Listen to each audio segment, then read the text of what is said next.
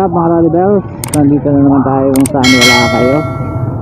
At nandito ako ngayon sa phase 1 Bagong silang ngayong simbahan So uh, ngayong araw na to is magpapalit tayo ng gulong ni Baby Mac Ma'am, galing mo pala dyan ah. Hindi ko alam ah. So ayan na nga mga Lodi Bells, uh, chinek ko muna yung odo ng motor uh, kung gaano nakalayo. So it's 18.5 na or 18,500 uh, yung natatakbo ni Baby Max. At saka kung makikita nyo sa likod, nagkaroon siya ng crooked sa rim or uh, bengkong uh, disalignment sa part na to. Uh, ayan. At makikita nyo rin kung gaano kanipis na yung uh, gulong ko sa likod. So, kailangan na talaga siyang palitan. At uh, na-check ko naman sa harap. Uh, yung harap ko sa gulong medyo okay pa siya. So, nanihinayang pa akong palitan. Uh, siguro mga pwede pa to after uh, two rides bago ko siya palitan. Uh, nga pala, uh, dito ako nagpagawa sa Evelyn or Ellen. Ayan, Ellen Vulcanizing Shop. Ayan, may mga available silang mga tires dito or uh, iba't ibang klase ng gulong. Meron silang uh, Pirelli, Michelin, uh, V-Rover at yung mga iba pang mas uh, murang gulong. So, ayan, si Sir Boss, Jay. Jay. Boss Jay. Taga saan ka, boss? Ha? Taga saan ba yung paborito nyo? Taga Bicol. Ah, Bicol. Camarines ako. Yes! I found from Bicol!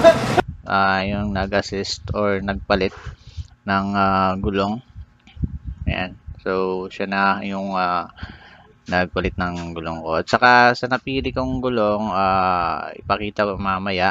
At saka yung mga list ng price nila kung magkano. Ah, so napili ko siya dahil na-search ko rin sa internet ah, na review. Medyo okay naman siya. So kaya ito yung pinili kong ah, gulong. So ayan, ah, by the way, bago ko siya papalitan ng gulong, kailangan ko muna siyang ipa-machine shop kasi nga may crooked yung rim ko sa likod or ah, bengkong. So ayan, ah, pinabilisan ko na yung pagtatanggal.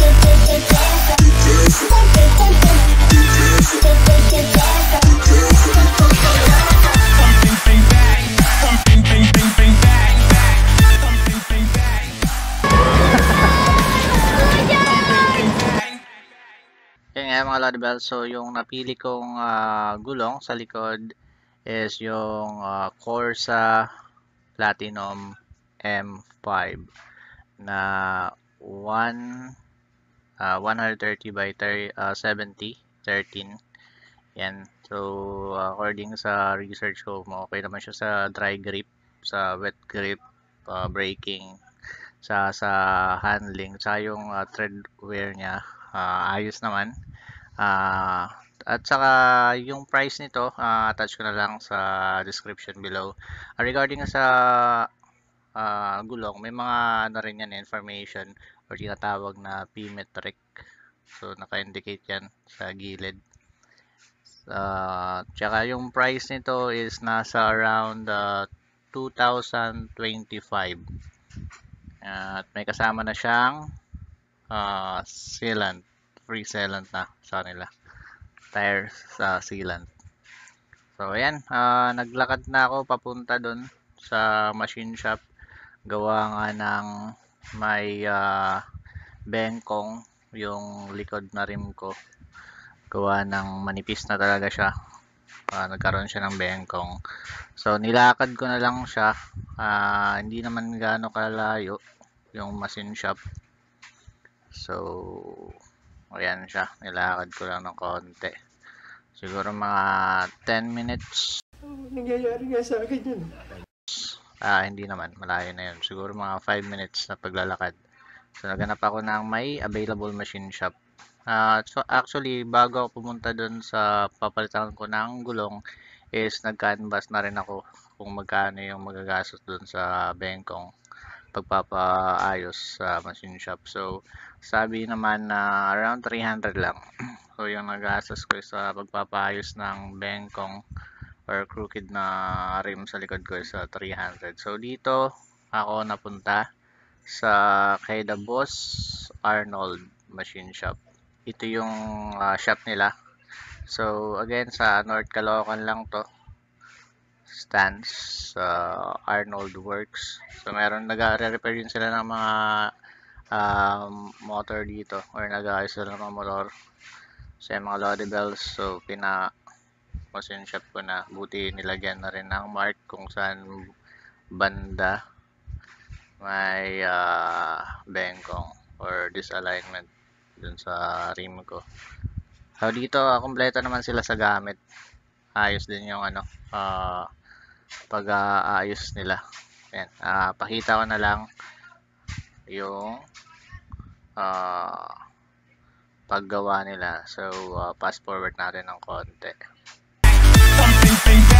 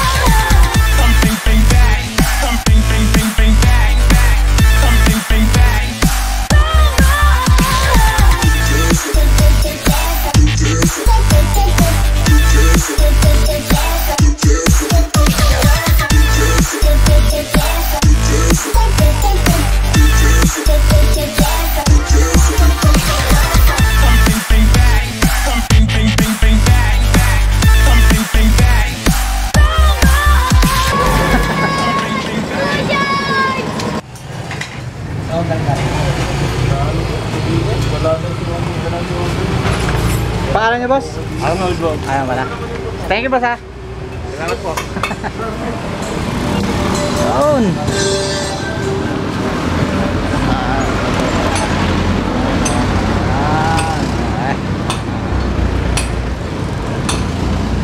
Okay. Next stop. Bukan natin. Bukan natin ngayon. Yung. So, ayun nga siya boss. Shout out kay Boss Arnold. Kaya ng shop.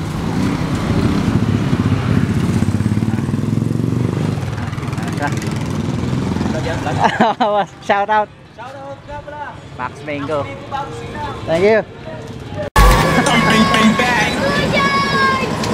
At yun mga Lodi Bells uh, nakarating din ulit uh, dun sa Ellen Vulcanizing Shop kung saan tayo nagpakabit ng motor.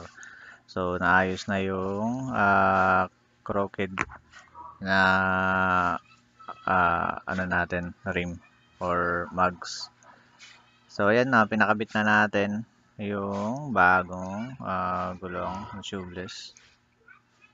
And so, uh, si, si kuya na, inassist niya na. Yan. So, yan, kumuha si Kuya ng ah, sealant. Kaya yun nga yung gamit, ah, free sealant. So, ah, isang ano lang naman, pwede na. Para iwas sa butas lang pag nabutasan ka, ay at least may ah, sealant yung motor mo. So, professional yung piga ni boss. Ah, bilisan lang. And then, yan. Pakita ko na rin yung gamit na sealant. Yan. So, gamit nila is uh, SZL na sealant. Tapos yun, pinanginan na ni Kuya. Uh, ha? Tsaka, dinouble check ni Kuya kung may ah, butas ba. Ah, lalo na dun sa part kung saan ah, minachine shop yung ano, ah, disalignment ng ah, mugs natin. Ayan na, pinanginan na. So, ah, actually wala akong ah, naibigay na kung ano yung hangin niya. Sabi ko kuya, ikaw na yung bahala. As long na sakto lang yung hangin. Then, yun na nga, ah, pinakabit ko na rin kay boss. Ano channel mo? Ah, Jong Ablix TV sa YouTube. Para Kaya mo. Boss. Jay. Boss Jay. Taga saan ka, boss? Ha? Taga saan ba yung paborito nyo? Taga Bicol. Ah, Bicol. Camarines Rock. Yes. I proud from Bicol. I proud Bicol. Kaya boss, saan yung ano mo, probinsya mo? Sama. Ay, Samar ka, Waray ka Waray. Ano, oray sa Bisaya.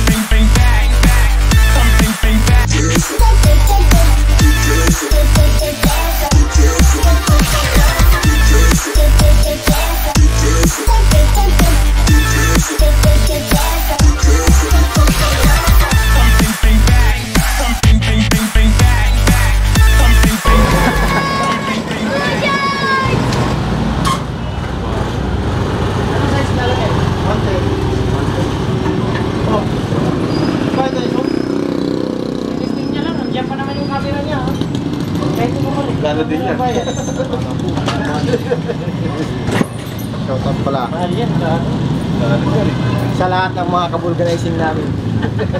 Especially kay Peter. Pas movie kami sa kanila.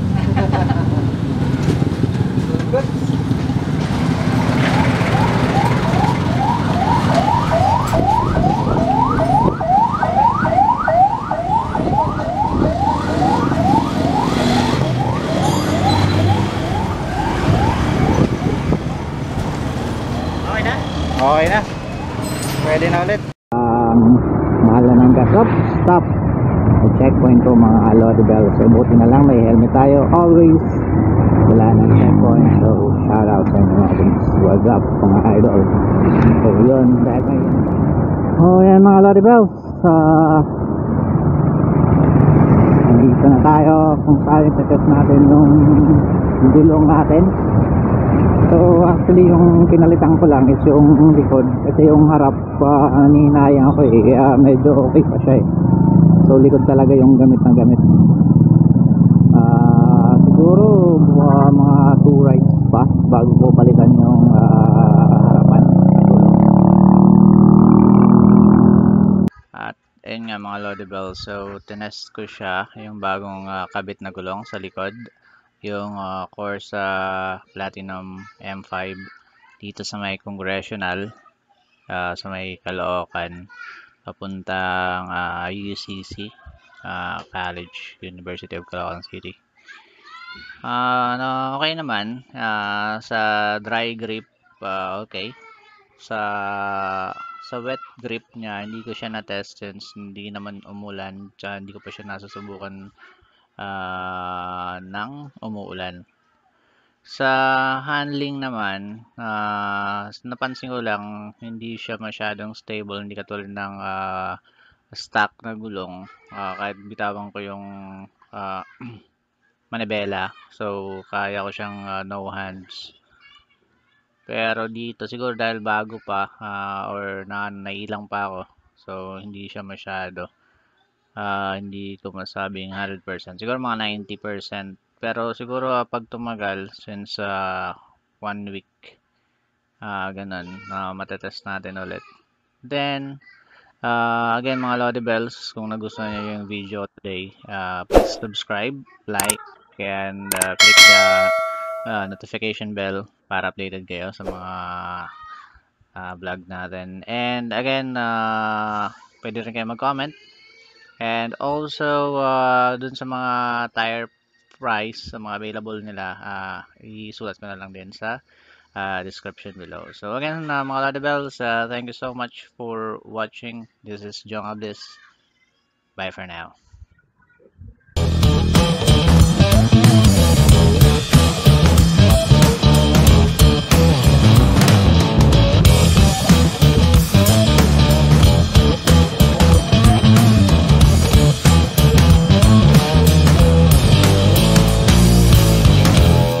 Shout out. Ang pangalan mo?